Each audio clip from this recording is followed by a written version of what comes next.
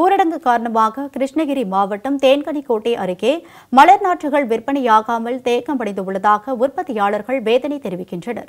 தேன்கனிக்கோட்டை சுற்று வட்டார பகுதியைச் சேர்ந்த ஆயிரத்திற்கும் மேற்பட்ட குடும்பத்தினர் நர்சரி தோட்டங்கள் அமைத்து பலவிதமான மலர் செடி நாற்றுகளை உற்பத்தி செய்து வருகின்றனர். ரோஜா செடிகள் அலங்கார செடிகள் உள்ளிட்ட மலர் செடிகளை உற்பத்தி செய்து கர்நாடகா கேரளா ஆந்திரா உள்ளிட்ட மாநிலங்களுக்கு விற்பனை செய்கின்றனர். இந்நிலையில் ஊரடங்கு காரணமாக விழாக்கள் தடைப்பட்டதாலும் வெளிமாநில அதிகாரிகள் வருகை இல்லாததாலும் நர்சரி தோட்டங்களில் வளர்க்கப்பட்டு வந்த பலாயிரம் வளர் நாற்றுகள் மற்றும் அலங்கார பூந்தொட்டிகள் விற்பனையாகாமல் தேக்கமடைந்துள்ளன. இதனால் பல லட்சம் ரூபாய் நஷ்டம் ஏற்பட்டுள்ளதாகவும் எனவே அரசு தங்களுக்கு உதவிட வேண்டும் எனவும் உற்பத்தியாளர்கள் கோரிக்கை விடுத்தனர்.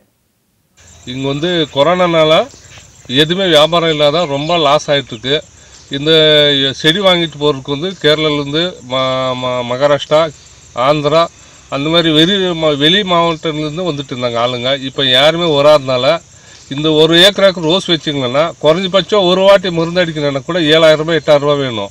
என்ன பண்ணாலும் ரொம்ப ப்ராப்ளமாக இருக்குது நாங்கள் வந்து இந்த மாதிரி கஷ்டப்பட்டுட்டு என்ன பண்ணியிருந்தாலும் கவர்மெண்ட்டே எதுவுமே கண்டுக்க மாட்டேன்து கவர்மெண்ட் வந்து எது விவசாயத்துக்கு வந்து எது நிதி கொடுக்குற மாதிரி கேட்டுக்கொள்கிறேன்.